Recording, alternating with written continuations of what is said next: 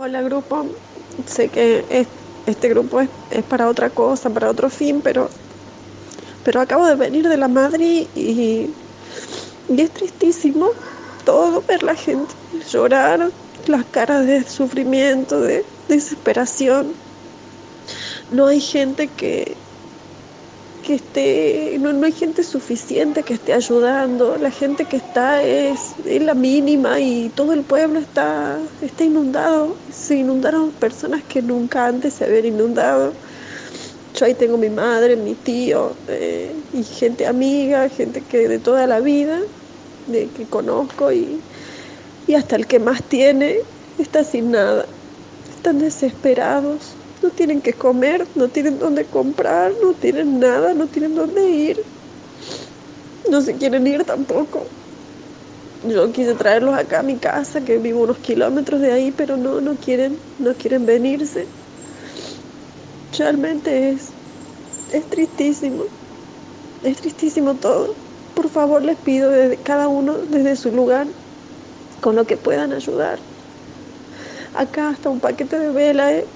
Sirve, alcanza, lo que tengan, papel higiénico, agua, lo que sea, carbón, porque la gente cocina ahí, ahí al costadito, cocinan al costado de la ruta, al costado de los autos, el calor que están pasando es insalubre, es una cosa que, que no, yo nunca antes había visto, pasé dos inundaciones estando en el pueblo y nunca antes había visto tanta agua, es impresionante el agua que hay y es impresionante el agua que está subiendo. Ni siquiera merma, aumenta. Cada minuto que pasa aumenta. Por favor, se lo suplico. No los conozco a, casi ninguno de ustedes, solo al doctor, pero desde mi lugar se, les pido que, que por favor hagan algo que si tienen algún conocido, algún político, no hay ningún político, no hay nadie, no hay nadie. Están únicamente los de gendarmería cocinando ahí un, un guiso, una cosa mínima. Y la gente es muchísima. Es muchísima realmente.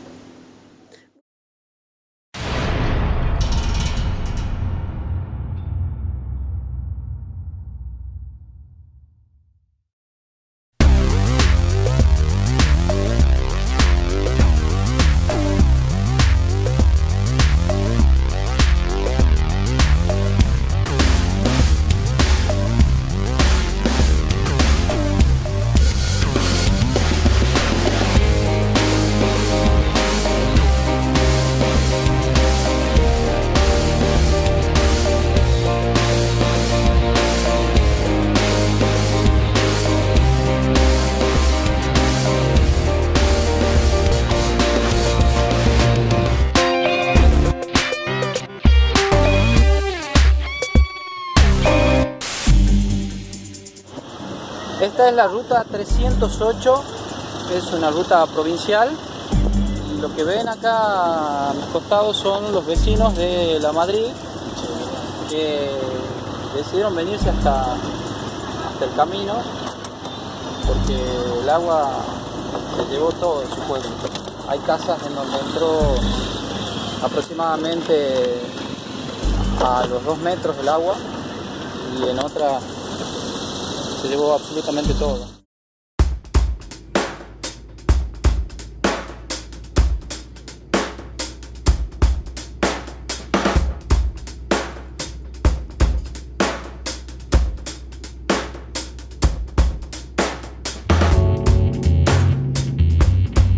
Estamos a punto de ingresar al corazón de la Madrid, donde todavía hay personas que están inundadas, la gente le está por llevar algunos víveres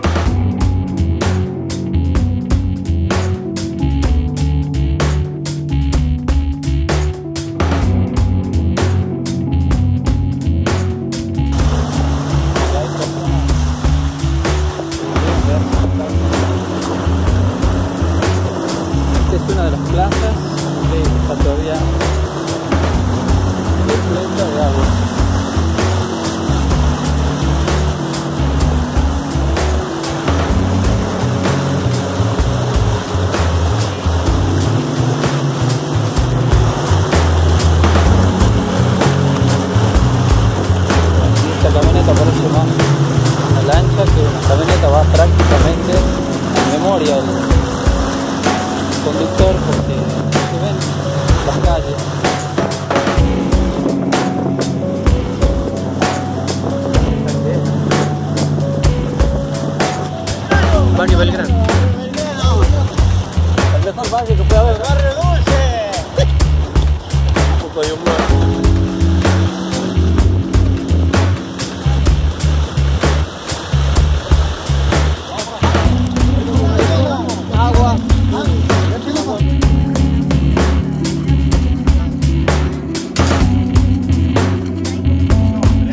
El pueblo está desierto y perdimos todo.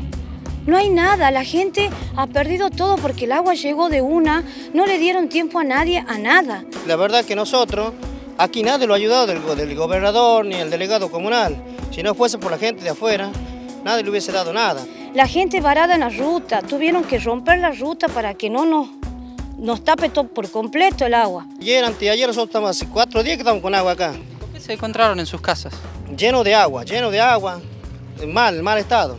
Ah, Hay víboras, arañas, este, la gente, la solidaridad de la gente es eh, eternamente gracias por todo lo que están haciendo, porque si nos entra algo es por la gente. Tres días antes sabía el delegado comunal que esto iba a suceder y él nunca ha informado. Pero lo que quisiera que si el presidente está escuchando esta nota, este pueblo llamado La Madrid aquí en San Miguel de Tucumán, si mandan ayuda, manden un interventor, manden a alguien a que realmente se le dé a la gente, le den en las manos a la gente, que vean en las condiciones que ha quedado la gente que ha perdido todo. Porque Dardo Herrera cada vez se hace más millonario. Aquí entraron 9 millones en La Madrid. Hace 8 años de gobierno que tiene este hombre. ¿Mm? Ganó por segunda vez con trampa y nadie hace nada. ¿Mm? Entonces eso quisiera que ustedes puedan, a través de los medios, que la gente se entere lo que está pasando acá.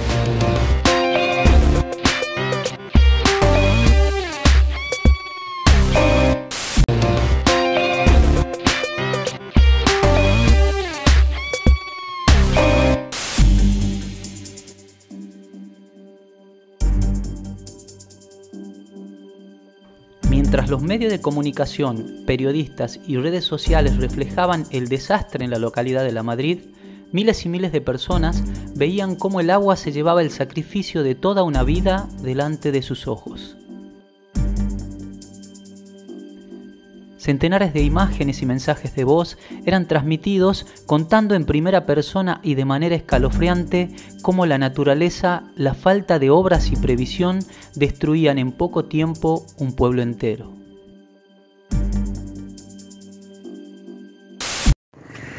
Chicos, les cuento que este, bueno, nosotros acá seguimos en la ruta, mi pueblo se está tapando de agua, no saben que no deja de subir el agua, en mi casa que no había subido ayer ya hay un metro y medio de agua. Este, mi hermano está uno, mi hermano el más chico está dentro del pueblo, todavía no está, está sin salir, pero me dicen que está saliendo por un camino vecinal. Y les cuento que esto es una catástrofe. No sé si, como no veo, no sé si los medios están avisando, si ustedes pueden llamar, se necesitan botes para sacar la gente. El pueblo lo divide la vía y del sector oeste la gente nunca se inu- se inunda, entonces no ha salido y esa gente ha quedado trampeada por el, por el, por el agua, ya no pueden pasar para la ruta. Así que si ustedes pueden eh, llamar o, viralizar un pedido de que vengan gente que tenga canoas, botes, se necesita para la Madrid.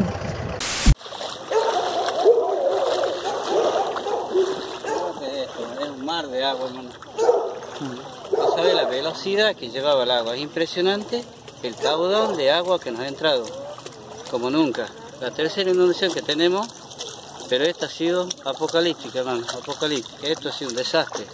Nos, nos perjudica totalmente, a- en general, a toda la Madrid. ¿Qué parte es esta del, del pueblo? Esta, es la, la calle Belgrano, Está al lado de la estación de, de el trenes. ferrocarril, detrás de la estación de ferrocarril. Y se presentaron las autoridades, el gobernador, el delegado. ¿Quién vino? Para na- nadie, nadie, ninguna autoridad ha venido. La únicamente la única gente solidaria que nos ha ayudado. Como te decía yo, la gente de Concesión, Alberdi, Simoca, de todos los, este, los vecinos que nos han ayudado. ¿Y la familia, la familia de usted? ¿Qué pasó con su familia? Y mi familia se, nos hemos tenido que refugiar acá en el Altillo con mi mujer y los otros chicos, los chicos nos tuvimos que mandar a Montevideo a Tacorralo. Mm. Porque esto ya se venía mal.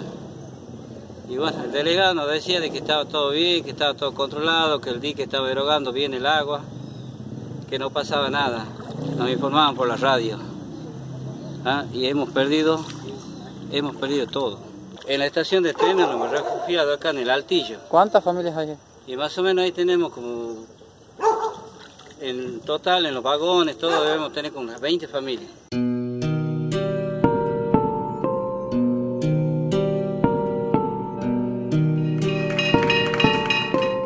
Días antes de que el agua arrasara con el pueblo de La Madrid, una formación del Belgrano Cargas se había quedado en la estación central de trenes del pueblo debido a las desfavorables condiciones climáticas.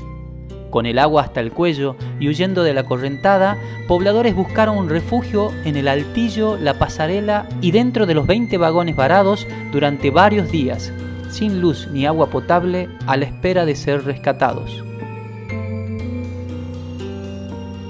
¿Vino a la parte más alta de, la Madrid? Así es, señor. Porque allá... ¿Cómo fue? Y bueno, era terror. Estar en mi casa es terror, todavía no puede salir a mi casa, me da hasta ahí todavía y para llegar a mi casa me da hasta ahí. Y no se puede, no, no, podemos estar. ¿Y decidió venirse acá al altillo del, del ferrocarril? Ferrocarril, sí, no me quedaba otra. Estaba esperando la vida, la vida allá. Y a mi nieta y a mi hija le mandó en Monteagudo. Y así. Porque no, no podemos conseguir salsa vivir, son dos colchones, nosotros somos, somos cuatro familias separadas y no hemos podido conseguir más que eso. Frazada no conseguimos calzado no conseguimos. ¿Cómo pasan las horas en este lugar? Y bueno, largas se me hacen las horas, porque no, no se puede. Con tanto sacrificio uno hizo la casa, compramos las cosas y, y nos quedamos así. Otra vez vuelve a empezar de nuevo. Hemos tenido tres inundaciones seguidas, esta es la peor, y nos siguen mintiendo, y nos siguen mintiendo, nos siguen con engaño. Nos siguen diciendo no pasa nada. Uno pregunta, nos dice no pasa nada, la situación está controlada. Cuando el agua tenemos hasta el cuello, empiezan a llegar. Empiezan a llegar en helicóptero y a bajar recién en el río y a bajar recién en la ruta cuando ya están toda la gente que ha perdido prácticamente todo. Empiezan a llegar con sus botines lustrosos, con sus trajes, a ver recién hasta dónde nos llegó el agua, hasta el cuello, para traernos los bolsones que no tenemos dónde cocinar. ¿Ustedes decidieron venirse a la estación de trenes? ¿Cómo no vamos a decidir venirnos si, si, nos ha llegado el agua hasta más de dos metros en la casa? Hemos perdido prácticamente en la calle. Aquí estamos en el altillo de la estación ferroviaria, porque hemos estado en los coches, aquí en los vagones ferroviarios, y en los vagones ferroviarios llegó un momento que ya nos llegaba el agua para adentro. Hemos tenido que subir al altillo. Es un altillo que está clausurado de hace años. Hemos tenido que subir para arriba y arriba hemos podido, pero no está casi como tres, cuatro familias amontonadas en los colchones, durmiendo uno encima de otro casi, para salvar nuestra vida y la pasarela que usted mismo ha visto. Y este es el altillo, ¿ve? El altillo que está clausurado durante años. Miren lo que es esto. ¿ve? Por aquí hemos subido, según el riesgo de nuestra vida, para arriba, para el techo. ¿ve? Es una escalera que sube para arriba, con los, con los escalones carcomidos por el tiempo, por el. ¿Mm? Familia con los chicos, todo, con nuestros bolsos, con nuestras poquitas cosas, como puede sacar algunos, y algunos no hemos podido sacar nada. Esto es una situación que ya no nos deben, no nos tienen que mentir. La Madrid ha pasado tres inundaciones, no pueden decir que esto no se puede solucionar. El gobierno tiene que tomar carta en el asunto. Basta de mentiras, que no nos mientan, porque está en juego la vida, Vienen después, como les digo, vienen únicamente, vienen en helicóptero ellos, porque ni siquiera se molestan de venir por la ruta, porque saben que por la ruta tampoco van a poder venir. Quedan en la ruta, quedan en el río, recién van a mirarlo. ¿Para qué van a mirarlo cuando estamos llenos de agua? Si ellos tienen que venir cuando la, cuando la situación se pueda hacer algo en el río y que nos den una seguridad de una vez por todas. Esto se va a ir el agua y se van a olvidar de nosotros. Hemos perdido todo, todo lo que hemos tenido, años de sacrificio. Años, Señor, de sacrificio. Ahora nos quedado sin nada. Nuestros hijos están allá. si no están en Tacorralo, están en Monte Agudo, perdón, están en Simoca. separados de nuestra familia. A nosotros aquí sin luz, no se queremos ir porque de noche nos andan robando. Tampoco la policía ni siquiera ni con caballo viene a vernos de noche. De noche quedamos a merced de los ladrones porque es una oscuridad el pueblo, porque ni luz tenemos. Y estamos pensando que nos desvalijen los poquitos o los muchos que hemos quedado en la casa. Basta de mentira esto, se tiene que terminar esto. No tienen que jugar con la vida de la gente, de las personas. Dígame, ahora vea, estamos ahí, hacinados aquí como usted nos está viendo. Si no hubiera sido esto, teníamos que ir a parar la pasarela, en medio del frío, en medio de la lluvia. Los vagones, esos vagones llenos de azúcar, sucio en el suelo, ahí se hemos tenido que tirar cartones para dormir una noche, la primera noche, llenos de azúcar que quedó pegoso, llenos de unas semejantes abejas. Y bueno, hemos tenido que sobrevivir mientras ellos están en su casa, con aire acondicionado, durmiendo en somier y muy tranquilo. Se llenó de agua todo. ¿Elegiste venir a este vagón o es el lugar que encontraste? Y más cerca, pues si no, si dejamos la casa sola, nos roba todo. Ajá. Ese es el otro. ¿Y con quién estás en este vagón? Eh, estoy con mi señora y mi hijo. ¿Qué opinas de todo esto? ¿Y qué se opina? No sé, ni idea. ¿Para qué vamos a decir? No hay palabra. Para esto no hay palabra. Se alzó lo que se ha podido, lo que no se ha podido quedó tirado ahí. Lo arrastró todo el agua. ¿Te imaginaste que ibas a venir acá? A este... Yo y como veis, no, no, nunca llegaba a toda esta cantidad de agua. Era impresionante el agua que llegaba. Y bueno, se ha hecho lo que se podido y bueno, no hay nada más que hacer. ¿Y cómo es vivir en este vagón? Y uno se duerme parado, medio el agua. Encima llueve, todo y bueno.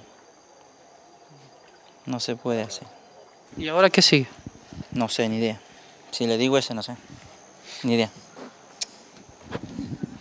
No hay cómo es.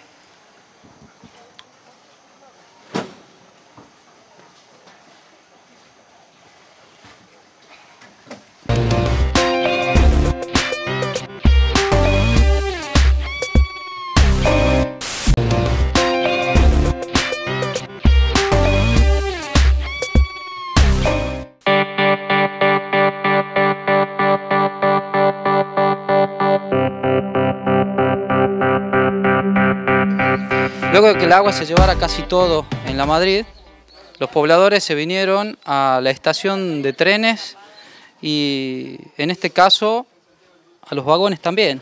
Hay más de 20 vagones en este lugar, ¿así es?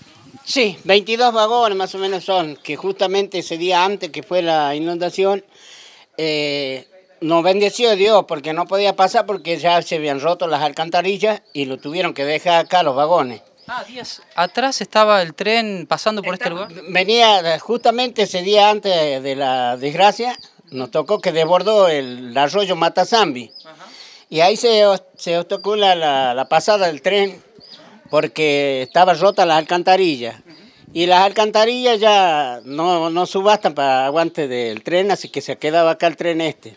Se quedaron varios vagones vacíos. 22 vagones más o menos son. Y todo se ha ocupado por la gente, pero después antinoche lo sacaron porque ya decían que se venía un golpe más de, de agua.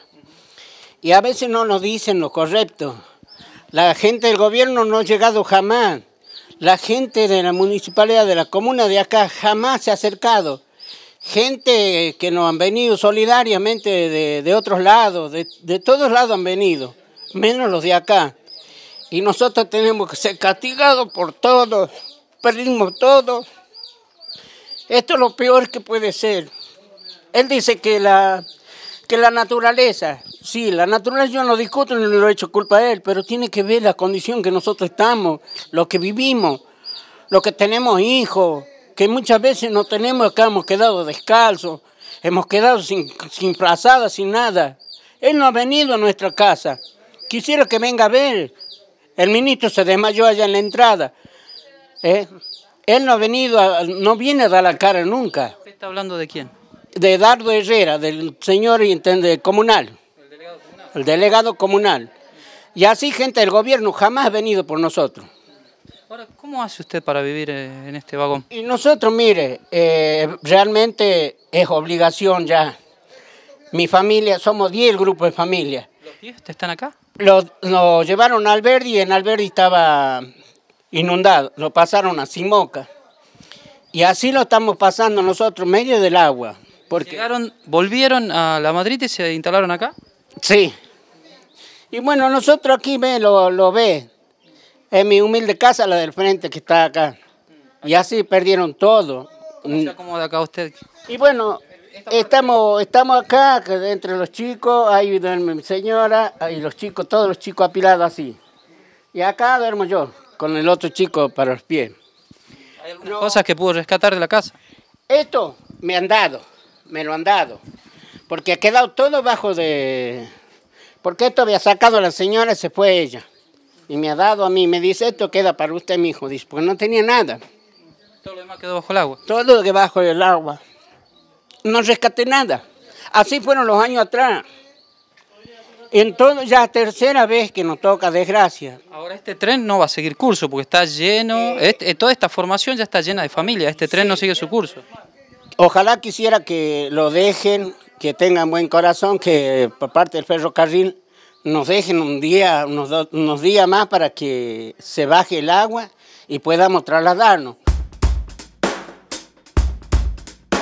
Luego de varios días el agua bajó y los habitantes de la Madrid comenzaron a volver a sus casas para encontrarse con sus hogares arrasados por la fuerza del agua.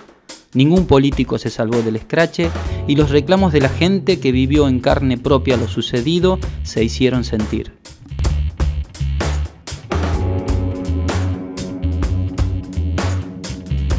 El delegado comunal de la Madrid fue uno de los primeros en ser insultado. El gobernador de la provincia, criticado por su actitud ante una cámara de televisión, Pablo Jetlin, funcionario de este gobierno, vivió también un momento incómodo en medio de una entrevista radial y hasta el propio presidente cuando vino a Tucumán se llevó lo suyo. Por su parte, el gobierno anunció la asistencia que se le pidió a la nación y las obras necesarias que se harán en un futuro para prevenir nuevas inundaciones. Bueno, interiorizándose de la, de la situación en Tucumán, de las zonas afectadas, ha sobrevolado la, la zona, le hemos transmitido en directo, digamos, la, la situación, así que, bueno, creo que es, es muy bueno que venga acá con parte de su equipo de colaboradores, con el ministro del, del Interior, a interiorizarse de la situación de los cuatro departamentos del sur de la provincia de Tucumán que fueron afectados por esta situación eh, de inundaciones. ¿no? Y ya le hemos pedido cuestiones concretas que tienen que ver con una asistencia financiera en una primera etapa de 600 millones de pesos, que ya hemos justificado el porqué de este, de este monto. Entre caminos secundarios y terciarios hay más de 1.500 kilómetros de camino, que es por donde sale la producción, que han sido dañados o afectados en diferentes en diferentes grados y más de 12.000 personas que han sido afectadas, digamos. Y bueno, hay muchas viviendas también que han sido destruidas, que hay que relocalizar, otras reconstruir. Y bueno, y también le planteamos al presidente las obras de infraestructura que, que ya están puestas en el, en el presupuesto de la Nación de este año, que ya se ha votado y está aprobado, que tiene que ver con lo que es toda la sistematización de, la, de, las cuencas, digamos, del río Gastón, del río Medina, que eso incluye obviamente lo que es los diques, esto, el potrero del Clavillo y más abajo el Naranjal. El pueblo de la Madrid sufrió quizás la peor de sus inundaciones que se venían repitiendo en los últimos tres años, a tal punto que la totalidad de los habitantes tuvieron que abandonar sus hogares. El gobierno informó que hubo unas 12.000 personas afectadas, dispuso ocho centros de evacuados y toda la estructura asistencial para atender a quienes perdieron casi todo. Sin embargo, los que sobresalieron fueron esos héroes anónimos que no perdieron tiempo y nos dieron su ejemplo con acciones solidarias, directas, sin intereses partidarios o políticos. Fue un milagro no lamentar víctimas humanas, aunque muchos animales y mascotas fueron literalmente borrados de la faz de la tierra por el agua. La solidaridad volvió a unir y reconstruir lazos en momentos desesperantes. Quienes tienen la representación del Estado deberán responder con acciones concretas de tal forma que nunca más un tucumano tenga que buscar el lugar más alto de un pueblo para salvar su vida del agua.